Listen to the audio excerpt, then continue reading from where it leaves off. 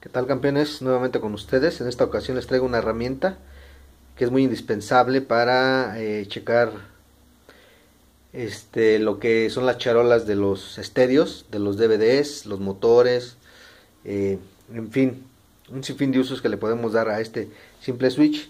Ahí vemos cómo, cómo el motor está girando, pero ahora lo que vamos a hacer es demostrar cómo con este simple switchecito lo podemos eh, hacer girar al revés, que es invertir la polaridad con un simple switch, nada más apretando de un lado para otro. Bueno, ahí eh, vamos a explicar el diagrama, cómo se hace este, este switch y continuamos. Bueno, como observamos, este es el switch.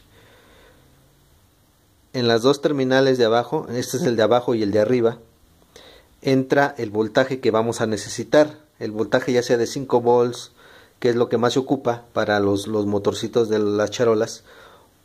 Eh, el pin de arriba va a ir conectado con el pin de abajo y el pin de abajo con el pin de arriba, así como se muestra en el diagrama. Las dos patitas de, de o los dos pines de la parte del medio son las que son las salidas. Ahí vamos a conectarlo directamente al motor y al, al actuar el switch va a ser un voltaje positivo o un negativo dependiendo el momento de girar.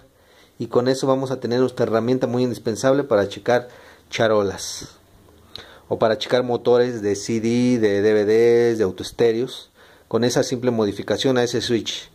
Bueno ahí les dejo el ejemplo y espero que lo puedan utilizar porque para mí ha sido también una herramienta muy muy indispensable bueno, ya saben, suscríbanse a mi canal y seguimos en contacto hasta una nueva oportunidad. Gracias.